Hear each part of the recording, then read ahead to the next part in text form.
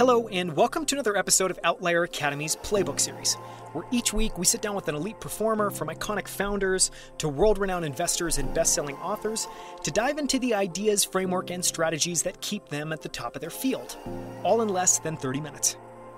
I'm Daniel Scrivner, and on the show today, I sit down with Brian Scudamore, the founder and CEO of 1 800 Got Junk, which today does more than 700 million in annual revenue. What's more, he bootstrapped the business and has grown it for over 33 years now, which is an incredible track record.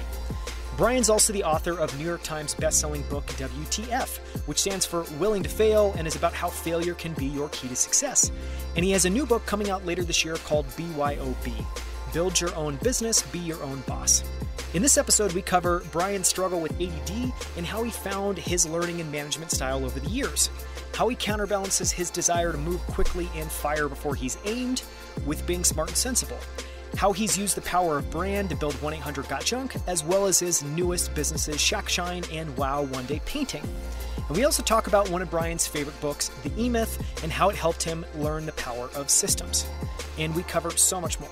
You can find the notes and transcript for this episode at outlieracademy.com slash 95. That's 95. And you can follow Brian on Twitter at Brian Scudamore. That's Brian, S C U D A M O R E. With that, enjoy the conversation. Brian Scudamore, thank you so much for coming back on Outlier Academy. I'm, I'm thrilled to have you on. Thanks for having me back. So, we're going to talk in this episode much more about tactics. And, you know, in the last episode, we spent a lot of time talking about your book, WTF, Willing to Fail, and a little bit about your, your new book, BYOB, that's coming out. But in this, you know, session, this, this conversation, I really wanted to focus on the lessons you've learned scaling, you know, 1 800 Got Junk initially and now zero to E brands uh, from zero to nearly 700 million in, in annual revenue, which is incredible milestone. I wanted to, you know, cover a few things that we didn't touch on in the last conversation. And and one was you're very open in interviews in your book about your struggles learning growing up. You know, and part of that's having ADD. I think part of that is just not never meshing and enjoying the school experience, which which I had a very similar, you know, kind of kind of background in or experience in growing up. And so what I wanted to ask about that is, you know, you've struggled with ADD your entire life. You you technically didn't graduate from high school or college. I have to imagine that that was very hard or that you struggled with that in periods in time. So I think the two questions I wanted to ask there is what did you learn from that early experience? And maybe this is something you've talked with your kids about now. And then how did you go about figuring out your learning style and what works for you? Because I think just generally this is not talked about enough. Mm, yeah, I agree. The number one answer I got to questions as a kid was no.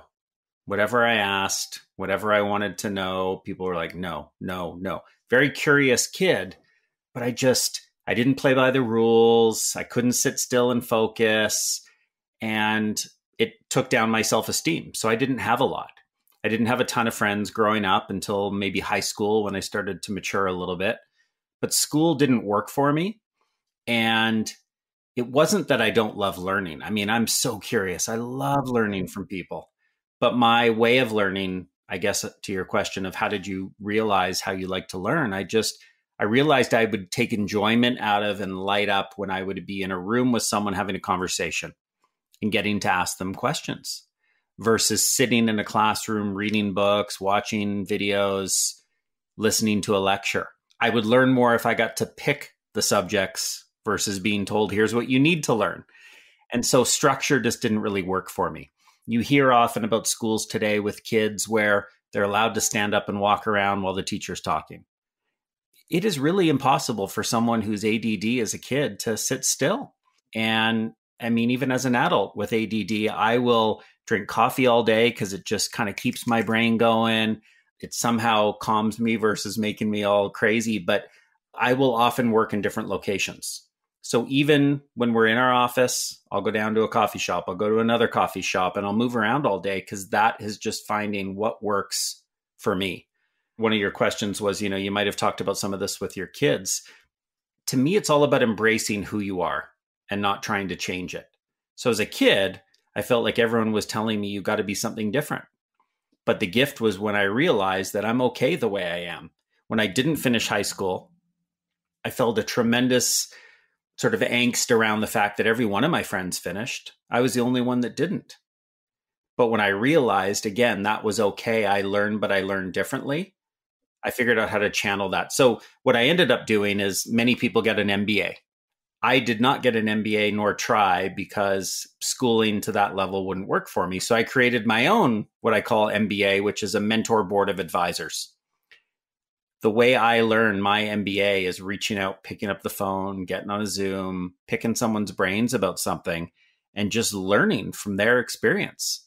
So, my entrepreneur driven education has all been just asking others who have succeeded and failed lots of questions. You touched on that so much of, and this applies to your kids, but applies to everybody, that, you know, so much of, of growing up is learning who you are and accepting that and embracing that.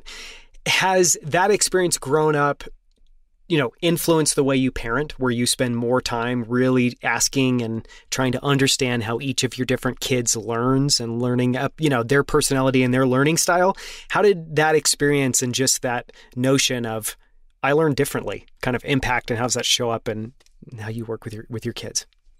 Yeah, maybe not a direct answer, but it made me think of I, I've never once asked my kids, any of them, what they want to be when they grow up. I remember getting asked a lot as a kid myself and feeling the pressure of, well, what do my parents want me to be? My dad's a doctor. Does he want me to be a doctor? Does he want me to go to university? And there was some pressure.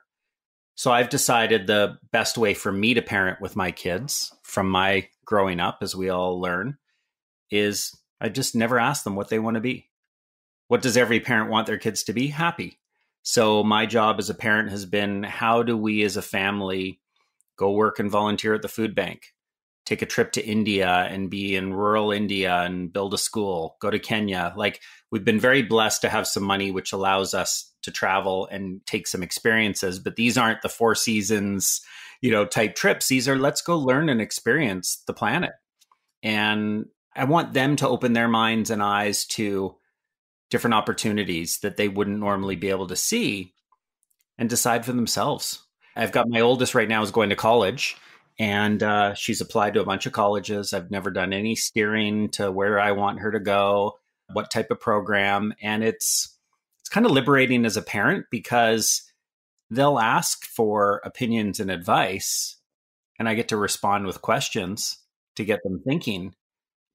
It doesn't have to be a this is what I would do if I was you. I'm not you. So it's a, for me it's been a fun way to parent and I think it's been liberating and taking some stress off of how come my kid's not doing what I want? Cuz that's not the way it works. Yeah. I think that's a wonderful, a wonderful answer. One of the things I wanted to talk about as well too is we talked about this a little bit in the last interview where you know there's was a moment in building one eight hundred got junk where you realized you have yourself, you have someone else, you're both a little ADD leading the company, you need to go find somebody else that can push back on that. And, you know, one, you're strikingly aware of where you're strong, where you need help. You seem to be really great at strength of vision, big ideas, understanding people. And then you can move to execution, maybe too quickly sometimes, in that kind of ready, fire, aim approach.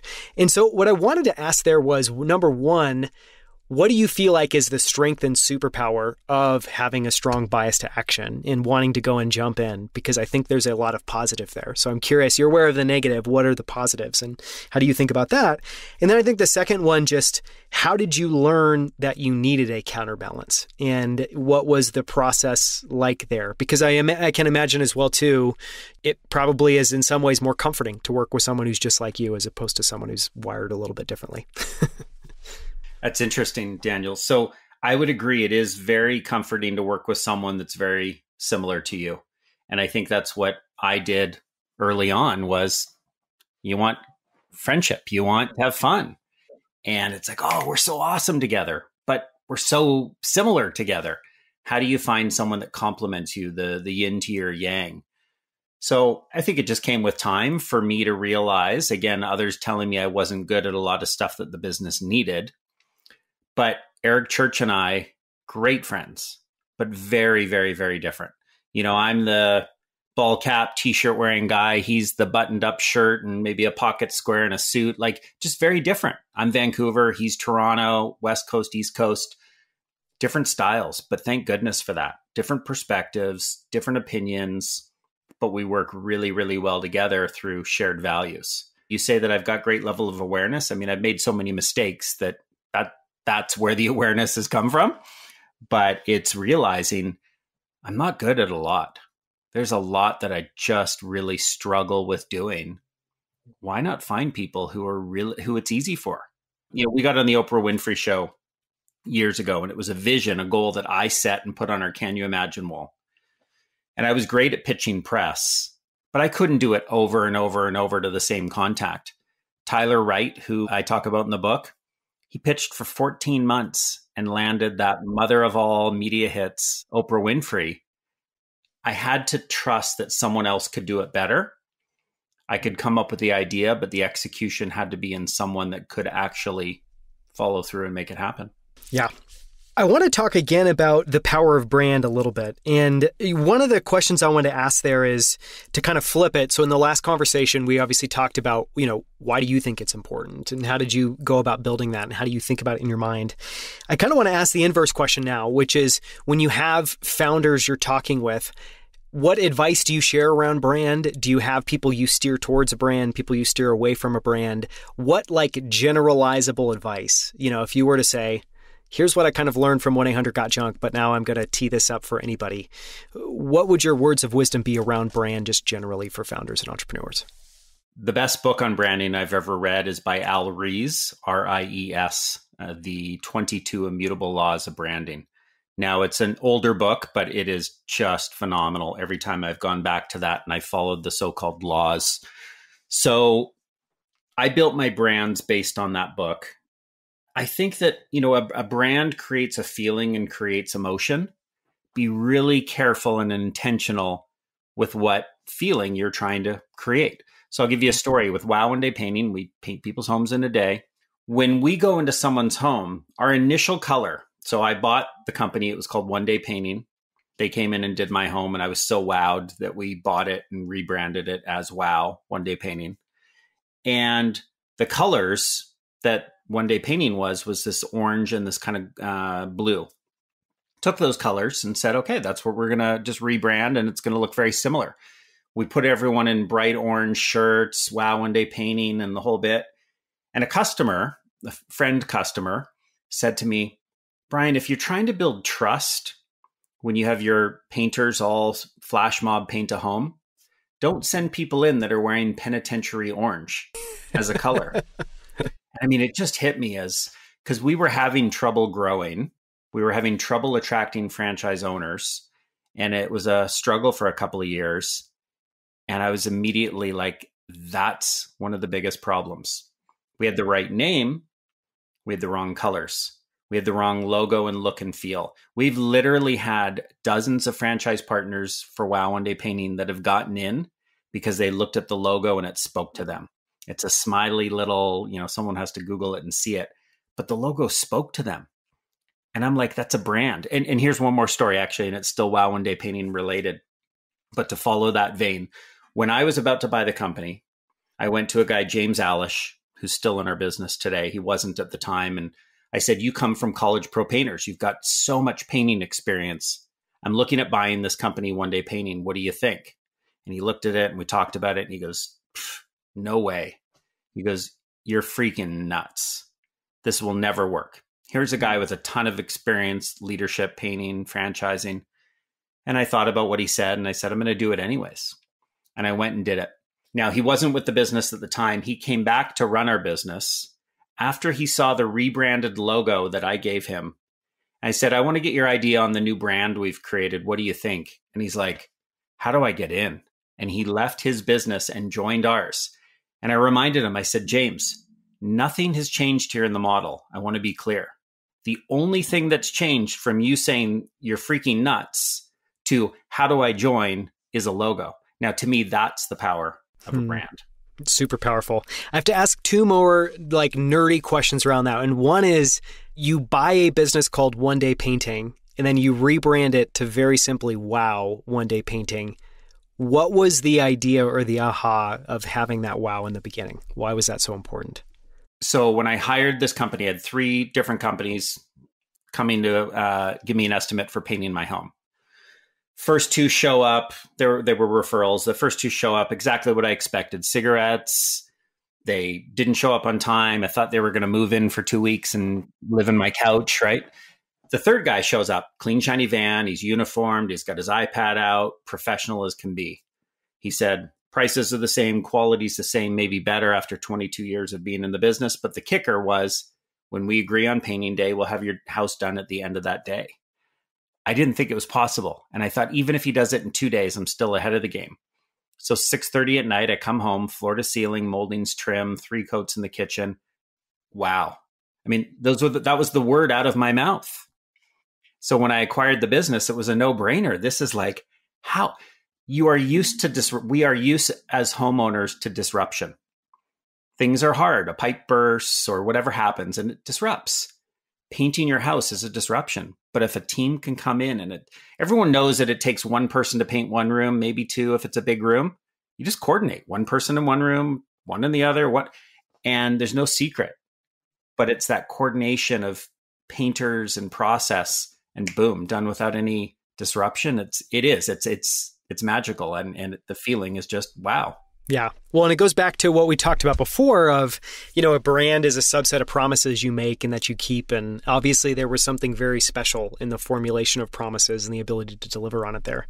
I have one other question, which is for the people that I know that are brand obsessed or, or just always focused on, you know, look, feel, and, and having the right, you know, energy or, or feeling associated with something, it can often be really hard to say, okay, this is done. And so I'm curious, like when you went through the process of doing the logo, how were you able to just do that once and get to done? And then maybe another way of saying that is, how did you know that you had arrived at the right logo? Was it that feeling? Was it something else? What was that process like for you? Yeah, we had our annual franchise partner convention, our gathering of all owners we'd spent a year rebranding. I'd hired a design company, fired that one, brought on another, fired them, and brought the other one back. And Noel Fox from Freebird is the guy that completed the logo who had started on it. And it was me being in Florence, Italy. And I was on a family trip and gelato everywhere. And I see this one gelato that stands out from all other flavors. It's got two lime slices as eyes and a little lime wedge smile. And I'm like, that gelato is the one I want because it's smiling at me. It's connecting with me. I took a picture of that, sent it to my designer as we were finalizing the logo, and I said, whatever this gelato is doing, do that to our logo. And it's, if you look at the logo, you'd see the connection. It connects, and people buy brands that they feel connected to. And that was the magic. And so I knew I had it right but then it was going back to our franchise convention and and selling everybody on we're doing a logo change. And by the way this is also going to cost you money because reprinting rebranding everywhere not one person was against the idea. And they said whatever it takes we will do this because they knew. Penitentiary orange and all the other stuff was not where it was at. And this logo just grabbed people. Yeah. I love how you know hearing from your perspective it is just so focused on the right feeling and the right connection. And I think that's a really interesting, you know, just differentiated approach. And I also love that the story revolves around gelato and a smiling gelato. Oh, totally. but you also know when you get it right, when you start to see your brand out there and people are talking about it. Now, this takes years and years and years, but, you know, even I saw in your hand a Sharpie. Mm-hmm. I can't read with this video that it's a Sharpie, but I could tell it looked like a Sharpie and it probably is. And who, for gosh sakes, knows the name of a marker? But that again is the power of branding. Yeah. It's very powerful. I just think you've done an amazing job and now multiple businesses, I think, bringing that to bear and, and having it be a true differentiator. So I wanted to talk about just a couple of other things that, that stuck out to me. And one was the the power of systems. You know, we talk about this in our last interview. You talk about in your book reading the E Myth and having this realization of, okay, wow, I really need to, you know, start approaching the business very differently. So the question there is kind of twofold. I think for one, you know, the E Myth at this point, a lot of people know it. It's somewhat old. I don't know if it's getting read as much. So I think part of it was like, what was special about E Myth? And if you could kind of pitch what, what was unique about that book. And then the question that I really want to ask is what did moving to a systematic approach unlock for you? Like what was what was the delta that you started to feel once you started applying that in the business? Yeah. So the E Myth, written by Michael Gerber, I actually might disagree and think that it's getting read even more from what I hear. Good. I think it's it's a 30 some odd year, 40 year old book. Michael Gerber's 83. I've talked to him recently. He, we've become great friends. He came to visit our office and he goes, Nobody has e their business like you guys. And he's a fantastic man and a great book. And what's interesting about the book is his whole philosophy was people don't fail, systems do. Systems of how to find the right people, how to treat those people right, how to have all the checklists of everything you need to make sure that you can build and scale a business. And so he studied McDonald's as one of many companies, and he said they succeed at such an incredible, scalable level. Again, older book and back in the day, but they still do because everything's the same. If you get a hamburger in Tulsa or you get a hamburger in Hong Kong from McDonald's or in Vancouver, they're, they're the same. Now, is it the world's best burger? No. Is it exactly what you expected and wanted? Yes. I mean, the the amount of salt that goes on those fries, it's like perfect every single time, right? So they've got the systems and processes to to allow people to take a proven formula and scale with perfection. It blows my mind that Starbucks, while not a franchise, so incredibly systematized that no matter what Starbucks you go to and you order your three pump, half calf, whatever it is, it's perfect. And everyone has somehow they've been able to train customers on how to explain and use the language of I want a grande, two pump, extra foam, no this and that. Like it's mind blowing. So it's giving people the framework. And that's what I set out to do with my business was what is the 1-800 got junk way? What is the shack shine way? Which is a, a series of things that we do all day, every day. But how do you know how to do it and then inspect what you expect to ensure it was done right? Yeah, I love some of the comparisons in, some of the notes there. And yeah, and just the fact that obviously a system's what allows you to to deliver the same thing again and again and again and again. One thing I'm curious about is at the scale you're at now, do you have a team or an individual internally that owns the system? is that does that become the job of everyone to know it and contribute to it? How do you kind of what does that look like in action today? Yeah, I'm going to give you the old yes and no. Our managing director of say Shackshine would own the Shackshine way but in owning that, he makes sure everyone else in the business also owns the Shack Shine way. So it's up to us to all show up in Shack Shine with the same branded gear.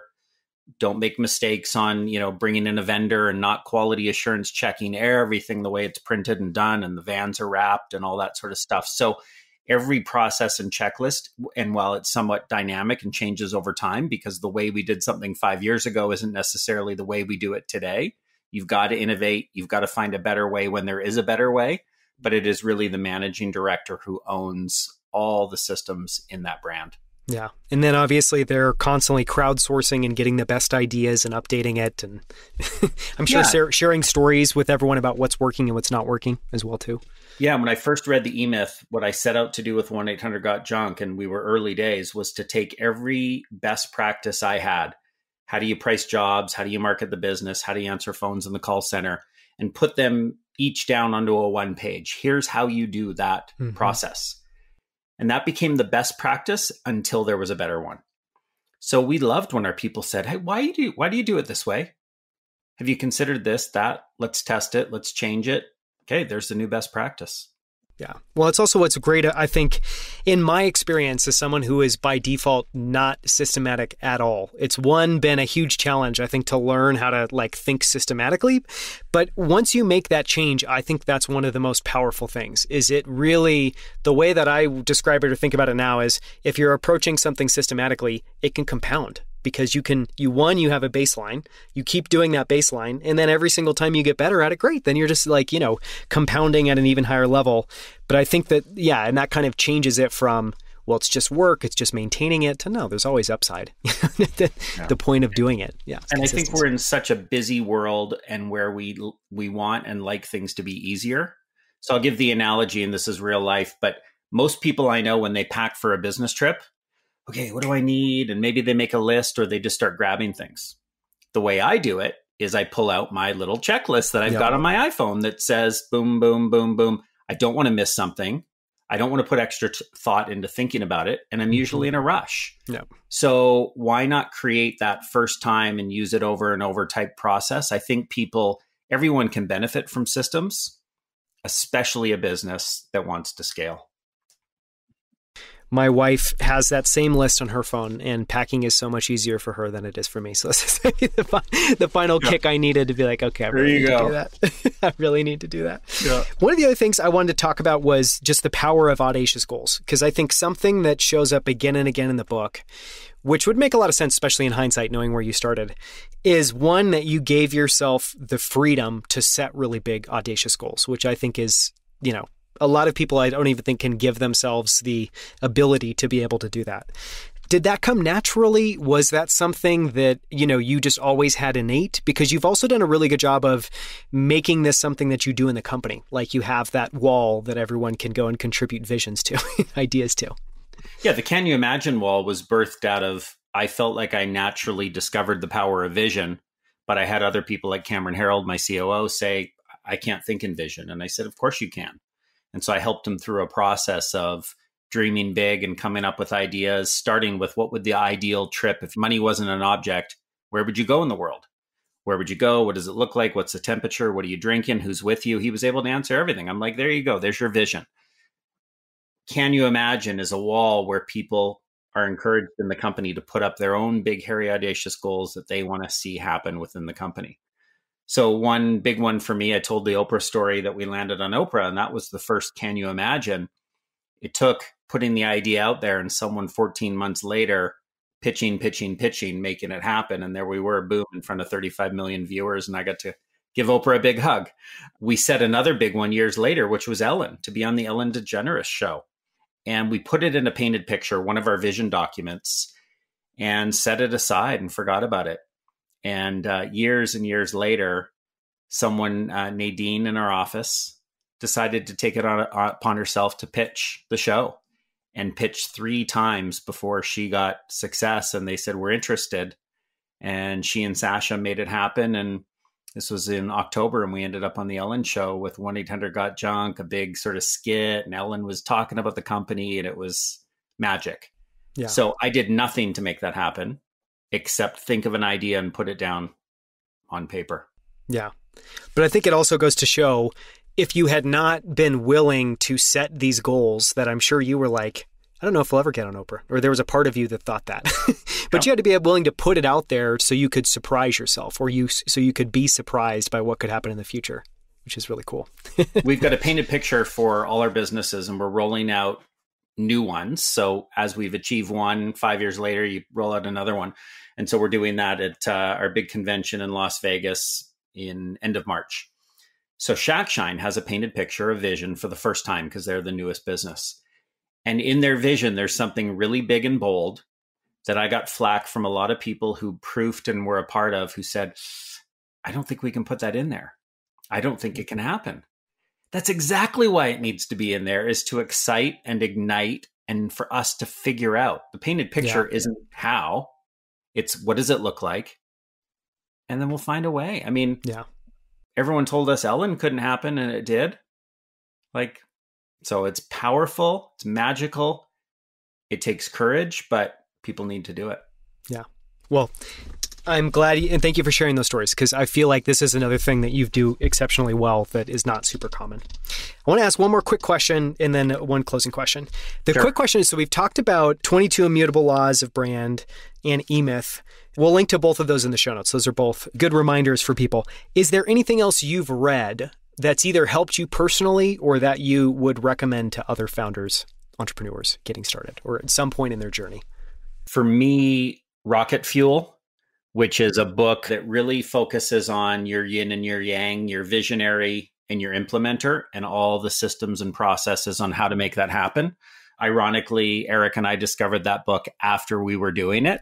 And someone said, You gotta read, you've obviously read this. This is what you guys did. And we looked at it, we're like, no. And and it was someone taking and distilling what is, you know, a bit of a process out there that some people organically discover and making it easier to to apply. But great book, Rocket Fuel. Yeah. That's another one I have not heard of. So I'm super excited to check that out. Okay, last question. And thank you so much for all the time.